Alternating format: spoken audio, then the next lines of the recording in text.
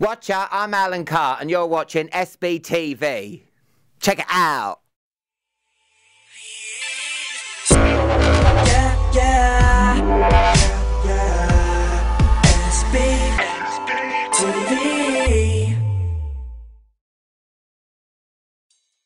He's a professional chin wagger that can get a lol out of anyone. And I've heard he's feeling spexy. Here I am with Alan Carr. Hello.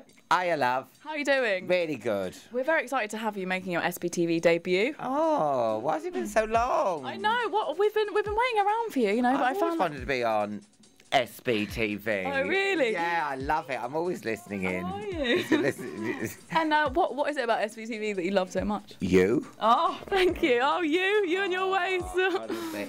If I, if I can't get Babe Station, I always watch you. Oh, Thanks. Hmm. Well, uh, I'll, ta- I'll, I'll uh, take that as a compliment. It is a compliment. I love Babe Station. Really? No. No. well, um, I've uh, heard you are feeling spexy. That's right. I don't want to get my wires crossed or anything. Yeah, I'm feeling spexy. Yeah. Especially when you're watching Babe Station. Oh, I know. My glasses steam up. Woohoo! bit, bit, bit hot and bothered behind the computer. Yeah. Have you ever been in a posh car and they put the heated seats on without telling you? Yeah. Oh no, Alan, you haven't.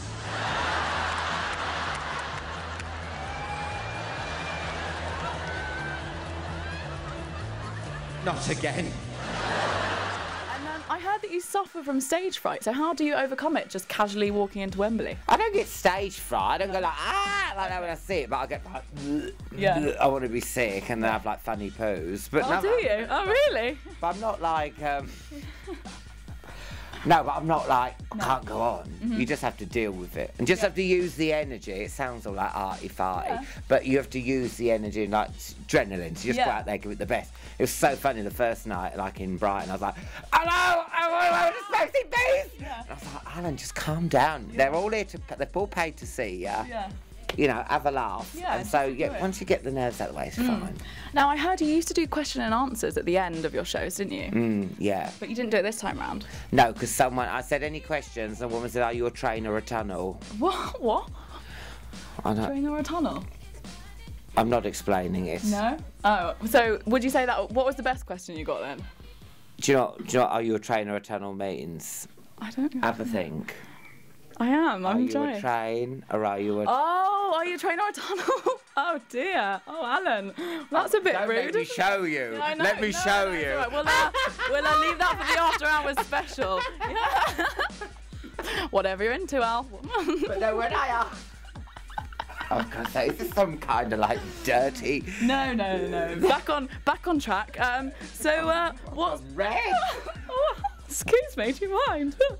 getting, get, me all hot and bothered. You and I, I mean, because Yeah. I thought it'd be nice for people to ask me, like, oh, Alan, how do you get into your mindset? You know, do you enjoy doing chat mm-hmm. shows? Or that? But no, someone, are you're trying or a tunnel? I was like, oh, moving on. That's my private business, thank you. I said I was a mega bus. Oh, did you? Excellent. Yeah. Yeah, for a pound, I'll take you where you want to oh, go. Really? Cheap but reliable. I know, but you catch something when you're on there. Oh, do you? Well, yeah, I got to uh, d- sanitise beforehand. But Oh, yeah. What about shagging me or uh, on the Oh no, just by you know looking after yourself before you get on. You don't know what to believe. I think they get a bad rep, some of these kids. You're reading the paper one minute, they're morbidly obese. The next thing you know, they're in these gangs, and it. You know if a kid pulls a knife on you, whether he's going to stab you or cut another slice of Black Forest gateau. You don't, do you? From the question and answers getting deleted, how was this tour different to the ones that you did before? And how's how's DVD different? Uh, well, the, D- the DVD is like, well, Tooth Fairy was filmed at Hammersmith Apollo, but this one because it's like a, like a big old arena and it was sell out and everything. Uh, uh, big old screens, a bit of dry ice there, great music, sound quality is good. Because I've seen some stand up and they haven't bothered investing in the big screen. So when you're at the back, you must watch the DVD. You know, shit. But um, but so you, you have to invest the money in it, and it's a real show, real show. Because you want a bit of hoo ha, really, don't you? Yeah, you want lights, Yeah. magic, you know, all that. Yeah. Mm. Because you've done so well since your tour before. It seems like stuff's just changed for you massively. Like you used to warm up for Jonathan Ross, is that right? Yeah, yeah. Yeah, and then when you went on the show, how was that? So weird coming through those doors and you've seen all the people who work on all the cameramen and all the thing. And then I've got my own dressing room because before, Yeah. when you're a warm up, you're really bottom of the food chain. Yeah. I mean, if I did have a dressing room, it was like basically a disabled toilet. Yeah. And that's where you'd have to just sit in the disabled toilet. Yeah. And then um, when I was a guest on it, I was was shown around this dressing room. It was fruit, there's fruit, there's flowers. I'm like, wait a minute. Hang on. I've just been stuck in like a disabled toilet with a massive handle. Yeah. I mean, um, I didn't even know this world existed. I've done jury service. I'm getting good at spotting criminals and suspicious looking people. Oh, yeah. I was behind this woman at the cash point and I was doing the normal thing. You know, you've got to stand two steps behind, don't you? But if you know, it's when people start acting suspicious, they make you act suspicious. She was like this at the cash point.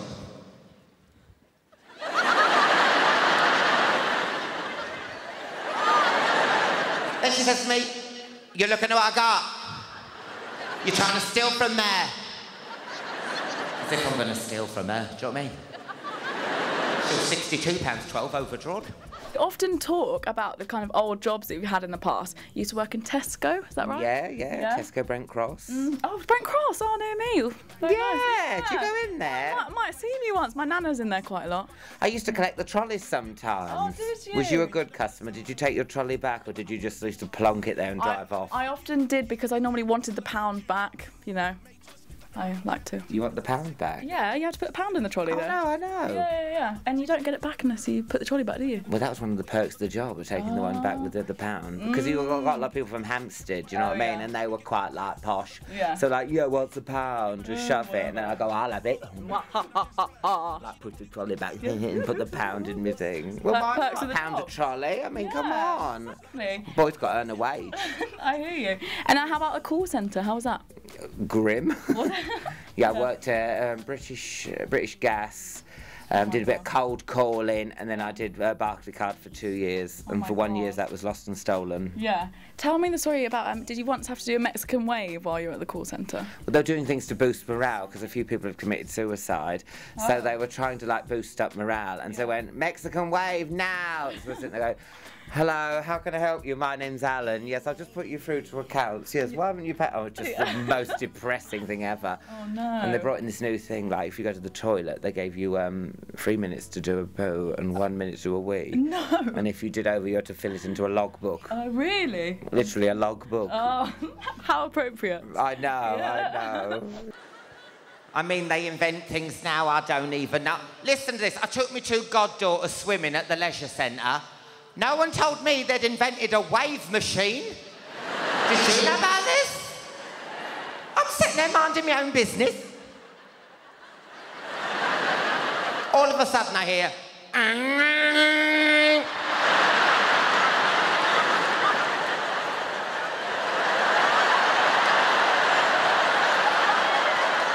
It was choppy. and then I couldn't kick because my locker key was round my weak leg.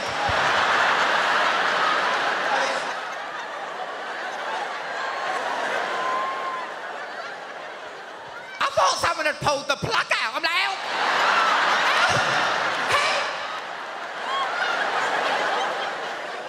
Now here at SBTV, we kind of started off as kind of urban music mostly. Yeah. A lot of grime. Are you a fan? Oh yeah, oh, yeah. Oh, yeah? I'm often doing the dirty wine and the Are you? butterfly. Oh yeah.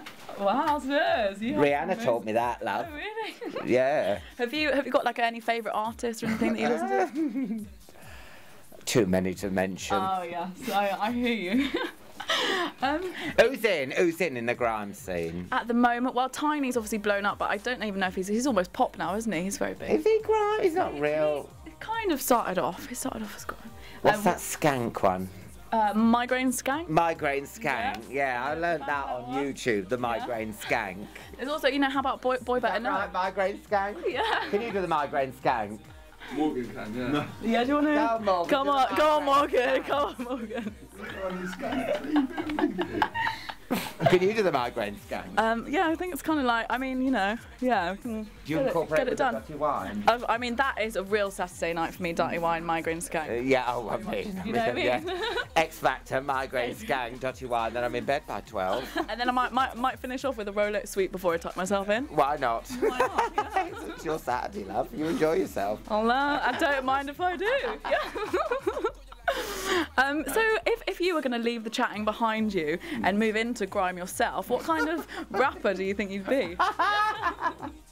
Yeah, um, well, there's always an option. Yeah. And the grime scene has been so, like, you know, Good to you. Good to me. I just think I could give something back to to the Essex, is it Essex Corps. F64. For the F64, I. Is that when you lose a job? Um, F, F, F64, it's quite a legendary um, series. It's a freestyle, it's a 64 bar freestyle that originated on um, SBTV, where you kind of see a lot of big rappers do something completely different and fresh. Oh, I might do an F64. Well, I mean, if you want to, you know, go for maybe a, any freestyle off the top of your head now, this is your Oh. time, baby. Oh, do you know what? I've just had um, a lozenge and I've got such a sore throat. Maybe I'll have Oh, I it. understand. Yeah. Those lozenges really fill you up as well. know, it's just wedged there. I wouldn't want to Ooh, die. yeah. They uh, get, get in the middle. An F64. They often get in, in between me and my lyrics. Rabbit, raggatip. Yeah. right, well, I'll, um, I'll leave you to digest your lodgings. Thank you so much. Lodgings? Lo-. Lozenge? Uh, I'll- well, your, lodge- your lozenge got I've got a lodged. lodging stuck in here. How big do you think my throat is? I've got a youth hostel stuck here. I've, uh, I've got the Marriott in mind. yeah. Um, well, I'll leave you to dislodge your lozenge. Thank you very much for joining us, Alan Carr. I'll see you next time. Thank you. It's been a pleasure. Bye.